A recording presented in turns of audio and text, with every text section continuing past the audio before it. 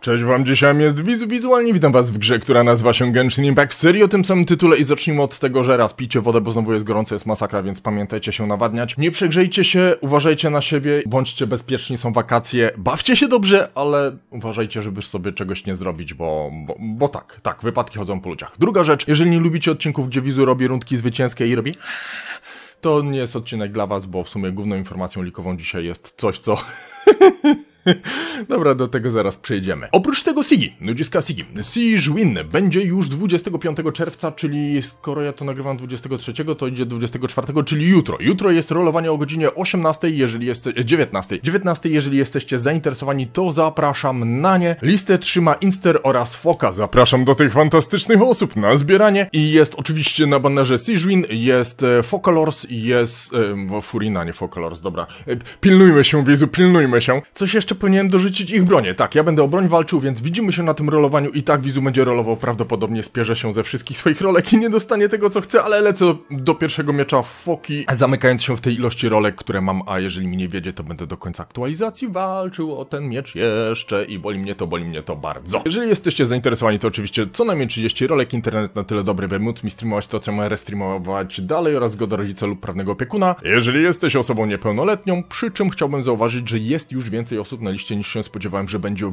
w ogóle. Tak, spodziewałem się, że nie dobijemy do 10 osób zainteresowanych rolowaniem, a spokojnie przebiliśmy, więc jest takie what? Okej, okay. Sigi się cieszy sporym zainteresowaniem, ale jeszcze większym cieszy się Foka na chwilę obecną, więc widzimy się na tym rolowańsku. Prócz tego, prócz tego ludziska, mamy maila urodzinowego od Saino, więc wczoraj z waszej perspektywy, dzisiaj z mojej Saino ma urodziny. Kiedy leciała informacja na temat tego gościa, to ja dostawałem strajki od Hojo. Pamiętam jak dziś, pamiętam jak dziś. Czy ja coś mogę dorzucić? Nie, nie, po, po, oni były informacje, później po prostu nabijali się z tego, że dali ludziom strajki, że tam strajk drugi, a jak dam trzecie ostrzeżenie, to jest koniec i tak dalej, i tak dalej, i tracisz wszystko. I to było dość wymowne, więc arty są, są całkiem niezłe bez szału, ale z drugiej strony też bez dramatu. Dajcie znać, czy macie tego gościa, a jeżeli macie, to zabierzcie go dziś na specjalną przejażdżkę, bo to jest ten jego dzień, to są jego urodziny. Chyba pierwszy raz widzę jego specjalne jedzonko, znaczy pewnie w zeszłym roku było to samo jedzonko specjalne, ale szczerze powiedziawszy nie pamiętam tej piramidy w ogóle i się teraz zastanawiam, czy, czy, czy jego urodziny w zeszłym roku były. Co? Aha, dobra, to jest to. E, do łuku. E, gdzie my to mamy, gdzie my to mamy, gdzie my to mamy? Okej, okay, dobra, było w zeszłym roku, bo, bo mam dwie sztuki, czyli mam jedną z zeszłego roku i jedną z tego roku. Trzymamy to, trzymamy to. Oprócz tego, dla wszystkich, którzy potrzebują jeszcze więcej rolek i jeszcze troszeczkę powalczyć, bo nie wyrobią się z tym, co mają, czyli Hello Yeah. Endless Forms Most Martial, czyli Battle Event z tej aktualizacji startuje już jutro 25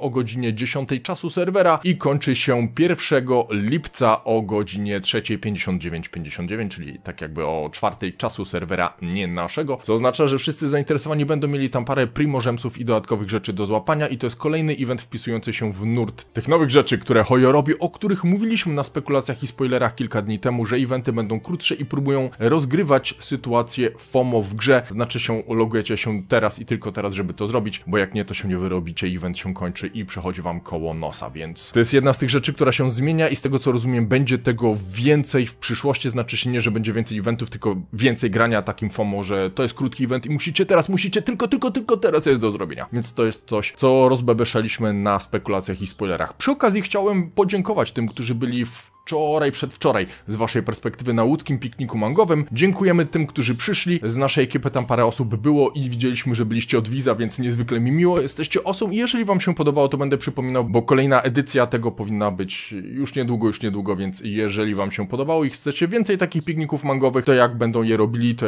to, to jak usłyszę, to dam wam znać w drugą stronę. Mam nadzieję, że bawiliście się dobrze. Jeżeli byłeś, byłaś, to daj mi znać w komentarzu, jak ci się podobało, co tam było i, i, i czy masz zdjęcia, bo zdjęcia zawsze na propsie. Co do takich rzeczy do pokazania, co do takich rzeczy do pokazania, ludziska zakończyliśmy Mermeya. Mamy zwycięzców i z tego co rozumiem, Bryce'u już się kontaktuje z tymi z was, którzy zgarnęli punktowane miejsca. Mamy jedno wyróżnienie dla Nero Mew i Nero Mew tutaj za, no jest tych pracek więcej, ale, ale te twoje arty były fantastico. Trudno było nie wybrać, trudno było nie wybrać. Oprócz tego Róg, nowe nasze odkrycie. Chyba pierwszy raz jesteś u nas na konkursie, nie kojarzę twoich prac wcześniej, ale te twoje szczególnie po początkowe prace, te takie bardziej horrorowe, creepy, albo pixelarciki i animowane pracki, to jest to, co kupiło nasze serducho i z Secią bardzo wczoraj żałowaliśmy, że nie było cię na każdym dniu, bo, bo, bo jednak dla Seci bardzo ważna była regularność, dla mnie troszeczkę mniej, więc to, to, to jest to, o co się tam kłóciliśmy i między innymi to też zajęło bardzo dużo czasu. Więc gratulacje, miejsca drugiego, trzeciego to egzekwo takie również z kawką i tutaj kawka. Twoje prace są wypas, ten Bajżu wygrał. No powiedzmy sobie szczerze, ten Bajżu tutaj zwyciężył. Jeżeli się zastanawiasz nad jedną pracą, która zadecydowała nad wyborem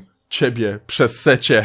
To jest właśnie Bajżu, który był przed chwilą. Ja mocno stawiałem na tą Arlę. I pierwsze miejsce Lucek. Twoje prace były fantastyczne, mega. Bardzo mi się to podobało. No, a czy akurat Bajżu nie, no ale to wiadomo kto wybierał. Reszta twoich prac znacznie, znacznie, znacznie bardziej. I twoja regularność to jest to, co po prostu cię wyniosło w tym momencie na pierwsze miejsce podium. Ja chciałem nad tym wszystkim jeszcze raz przeskoczyć, ale może nie będę się zatrzymywał. Chodzi o to, że spodziewałem się, że doskoczy jedna czy dwie spóźnione prace jeszcze na do widzenia. Nie doskoczyły, więc po prostu mamy przegląd przez wszystkie rzeczy, które w międzyczasie były, a było ich bardzo dużo. No i poziom w tym roku był zdumiewająco wysoki. Ze wszystkich mermejów, jakie robiliśmy, a to jest trzecia edycja, czyli trzeci rok z rzędu, wydaje mi się, że ten był najbardziej udany. Przyszli tutaj ludzie powalczyć naprawdę z pomysłem, co robić. Niektórzy mieli koncepcję na całość, innym się ta koncepcja rozwijała i ewoluowała z każdą pracą. Jeszcze inni po prostu przychodzili się pobawić i robili najlepsze, co są w stanie, więc w tym roku ja jestem zachwycony, bo i rozrzut był duży, stylistycznie mieliśmy bardzo duży wachlarz waszych możliwości, ale wykonanie większości tych pracek jest fantastiko. Ja się tutaj bawiłem przednio, no ja lubię arty, nie? Lubię dobre arty i, i jednym z powodów, dla którego organizujemy te konkursy i jest tyle rysunkowych konkursów, jest fakt, że ja uwielbiam patrzeć na fajne pracki. Kiedyś to wszystko zgrywałem na dysk i sobie kolekcjonowałem fajne arty od ludzi z randoma, z internetów, żeby się inspirować na przyszłość, a teraz po prostu wymyśliłem...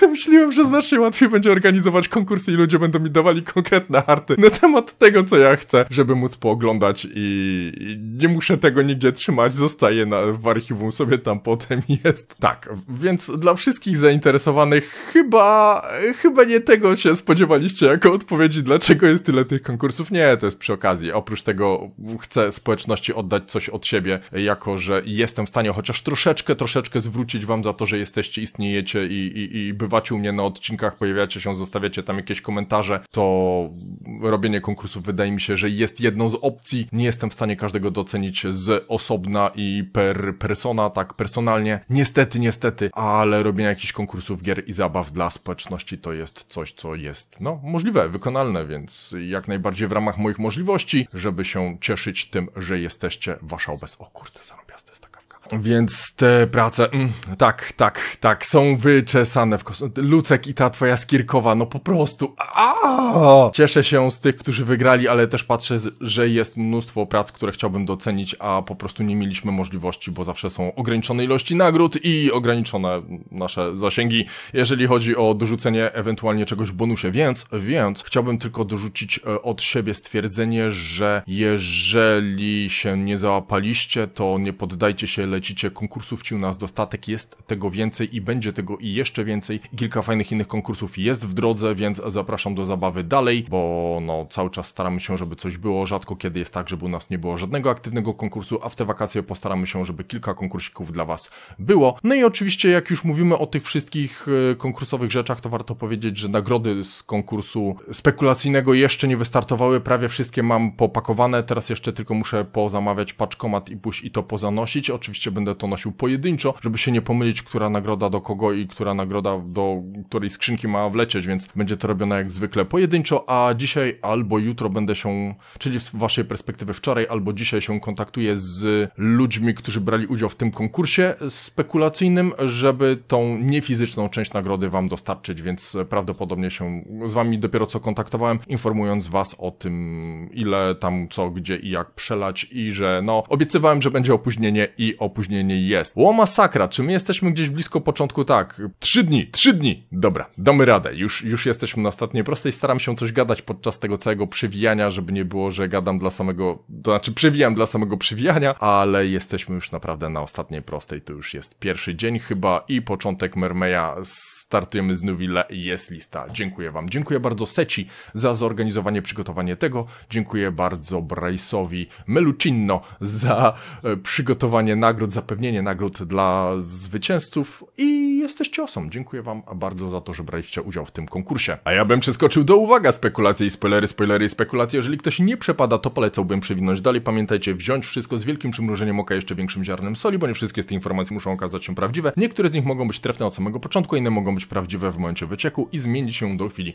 wejścia na serwery live. Więc zacznijmy na samym początku od bardzo możliwe, że Pyro Arachonki, aczkolwiek stuprocentowego potwierdzenia nie ma, to leci za HXG Diluc i z kilku innych źródeł jest podbijane. Nie wiem, czy pamiętacie, co jakiś czas jest wśród widzów jedna osoba, która mnie się regularnie pyta o tego szermierza bądź panią szermierz, którzy się przewijają i ja wam mówiłem, że na testach jest coś, co jest prawdopodobnie albo na modelu Savignon testowane, albo coś podobnego, nie mam potwierdzenia co, gdzie, jak, ale jest, jest kilka elementów, które sugerują, że albo ten koleś, albo coś pochodnego od tego jest na testach i, i że mam stuprocentowe potwierdzenie, że tak jest, aczkolwiek nie mam na to dowodów takich, żeby wam pokazać. I w pewnym momencie to się zrobiło może nie tyle memiczne, co podsyłaliście mi innych content kreatorów, którzy się ze mnie nabieli, że no, no, no, no, no, wizu swoich widzów bejtuje, że jest coś takiego, jest coś takiego, więc...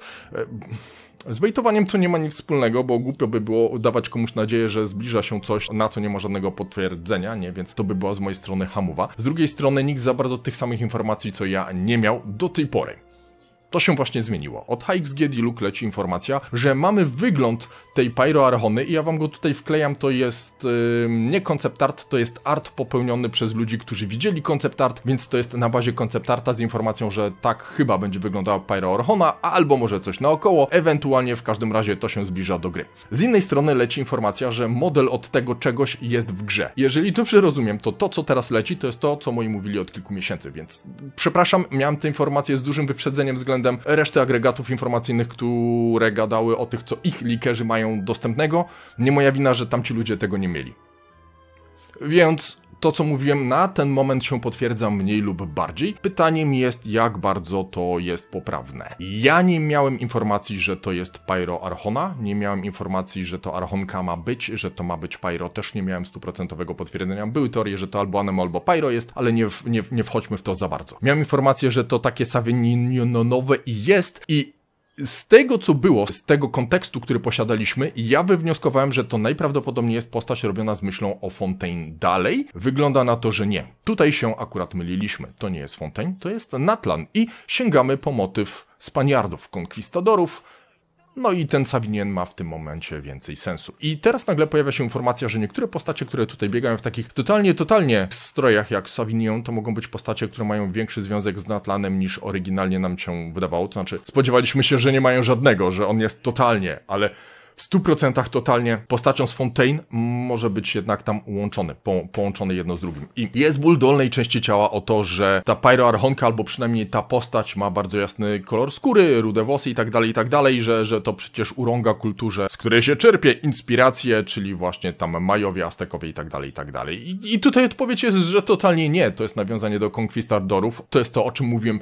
z półtorej czy dwa lata temu, kiedy mówiliśmy o Natlanie, te informacje, które ja o Natlanie mam, są takie, że przyjechali tam ze mną, klepnęli i jest wrogie jakby przejęcie może nie tyle władzy, co przynajmniej szarpanie się o władzę, ale też przez frakcje z zewnątrz. To, że frakcje tam będące autochtoni również nie będą mieli zbyt ciemnej karnacji, to jest inna sprawa, niezwiązana z tym. Ale jeżeli o to chodzi, to jest nawiązanie nie do Majów, którzy funkcjonowali w naszym świecie, tylko do konkwistadorów, którzy wjechali i wpierniczyli Mają i Aztekom. Znaczy, dobra, nieważne zamiesz... Historycznie wiecie, nie, nie, siedzę w tym temacie historycznie, żeby powiedzieć, jak tam dokładnie wyglądały walki, ale wiecie o co chodzi. Każdy z nas pewnie oglądał drogę do Eldorado, więc idziemy w tym kierunku, idziemy w tym kierunku. Powinienem w tym momencie robić rundki zwycięskie, bo to jest konkretnie ten jeden motyw, z którego się nabijano ze mnie i teraz HXG Diluc to potwierdza, a skoro HXG Diluc to potwierdza, to jest bardzo duża szansa, że to jest prawdziwe. Nie wiem skąd moi wyciągnęli, znaczy wiem, ale nie wiem skąd moi wyciągnęli tą informację i dlaczego ona z rękawa poleciała do mnie w tym kierunku. Jestem zdumiony, bo raz, ja się spodziewałem, że to będzie facet, skoro jest bardzo możliwe, że testowany na modelu Saviniena, no ale to nie jest powiedziane na 100% oczywiście. Co więcej, wszystkie inne informacje, które teraz zaczynają latać, wygląda jakby ktoś się dorwał do tego, o czym moi mówili wcześniej. Ze względu na to, jak jest otoczenie tych wszystkich informacji, że ja to dostaję w konkretny sposób, to sporo rzeczy jest bez kontekstu takiego, jak chciałbym mieć, żeby móc wam to opowiedzieć. Ale jedyne, co mogę dodać, to jest jestem pod wrażeniem tego, jak blisko byliśmy, więc parę osób ma ode mnie teraz, nie wiem, kole do postawienia, czy, czy jakieś tam gofry, lody, czy coś innego, co będą chcieli, bo wykonali kawał dobrej roboty na grube miesiące przed resztą ekipy, która teraz o tym zaczyna gadać, więc hello world! Byliśmy śmiesznie blisko bardzo. I przeskoczmy do kolejnej rzeczy, która z tym jest może nie do końca związana, ale jest problematyczna i lików będzie mniej, między innymi przez to, co się właśnie podziało, czyli w Chinach mamy zakończenie jednej z pierwszych głównych rozpraw, które były przeciwko likerom i człowiek, który zlikował Icewind Suit, wideo trailer do Genshina aktualizacji 4.0 oczywiście ma do zapłacenia 100 tysięcy juanów reparacji dla Hoyo. Więc okej, okay. i tutaj sytuacja jest troszkę bardziej zamieszana, jeżeli dobrze pamiętam, bo to jest osoba, która nie miała podpisanego NDA, ale wyciągnęła informację skądś, gdzie NDA było, więc chiński sąd uznał, że ta osoba, pomimo tego, że nie ma niczego podpisanego, musi zapłacić Hoyo. Oczywiście w Europie to by totalnie nie przeszło. Różnica jest taka, że Hoyo po prostu stać ciągnąć te rozprawy bardzo, bardzo, bardzo, bardzo długo, więc u nas by ludzie zbankrutowali próbując się bronić, no ale tia. Informacja leci za Jiangsu TV, a tłumaczenie za Sparkles Dog. Jeżeli dostaniecie się kiedykolwiek na betę albo będziecie mieli jakiś własny insight, to pamiętajcie, żeby tego nie likować, albo przynajmniej nie w bezpośredni sposób, nie przekazywać tych informacji, które macie tak, jak je macie, ze względu na to, że są obostrzenia i oberwać za to można. Przeskakując dalej, przeskakując dalej, mamy też informacje na temat kolejnego kolaba, który powinien się pojawić już w najbliższym czasie. Jest to kolejna kolaboracja pomiędzy Genshinem a OnePlusem, więc nowy telefon to będzie OnePlus Ace 3 Pro, który się powinien pojawić 27 już niedługo do zakupu o 19 czasu ichniego, czyli UTC plus 8 i tym razem będzie miał zarówno pudełko jak i etui, wszystkie rzeczy dodatkowe związane z Kirarą. Ceny i cała reszta jeszcze nie jest w pełni ujawniona, oczywiście to się będzie zmieniało, więc jeżeli chcecie nowy telefon, to bardzo możliwe, że OnePlus u nas również się pojawi w wersji Kirarowej i będzie to OnePlus Ace 3 Pro. Dajcie znać, czy potrzebujecie nowego telefonu, albo czy potrzebujecie nowego padzika z Genshin Genshinowego. Jak widziałem tą cenę nowego Genshinowego poda, to po prostu załamka. Ale przeskoczmy do dzisiejszej miejscówki, która została podesłana przez Anarenę, co ja się naszukałem, żeby tu siedzieć blisko tego Saviniena, żeby móc do niego podbiegać. Więcej czasu dziś spędziłem na wyszukiwaniu miejscówki niż na nagrywaniu tego odcinka, więc hurdur dur dur hurdur dur dur Anarena, dziękuję Ci za wysyłanie tak cudnych miejsc. Jesteś awesome! Pamiętajcie, że Daily Check-in Web Event wciąż trwa. Dziś jest dzień 23 z mojej perspektywy, czyli 24 z Waszej powinna być mora i do końca miesiąca już nic. Niestety taka sama sytuacja jest w Honkai Star Railu, dziś są kryształki, jutro jest waluta i do końca miesiąca za bardzo już nic. Za to nie zapomnijcie wbić do plecaka do zakładki z gadżetami, żeby sprawdzić jak długi cooldown pozostał wam na parametryk transformerze. Jeżeli jesteście zsynchronizowani ze mną, no to są 3 dni, czyli 2 dni z waszej perspektywy, czyli jeszcze mamy czas. Korzystając z okazji chciałem bardzo mocno i serdecznie podziękować wszystkim wspierającym wasze wsparcie jest nieocenione. Lisi Magowie, wasza magia jest potężna, jesteście osom lisi arcymagowie, wasza magia jest arcypotężna, jesteście arcyosom i lisi Twitcher na oci, wasza magia jest Twitcher potężna, jesteście Twitcher osom i na Twitchu widzimy się przy najbliższej okazji, która powinna się nadarzyć na dniach, pewnie jeszcze jedno montowanko będzie przed zmianą banera, ale, ale, pff, może, może, może dzisiaj z waszej perspektywy to by było niegłupie, więc to jest już wszystko, co ja dzisiaj dla was mam przygotowane. Życzę wam miłego dnia, dobrego dzonka, świetnych pięciogwiazdkowych rolek, niech Boże Karędzi wam sprzyja, widzimy się przy najbliższej okazji, która powinna się nadarzyć na dniach i hej! We had no time to say goodbye. So let's not call it that. I niech Boże Karędzi wam sprzyja, niech Boże Karędzi wam sprzyja.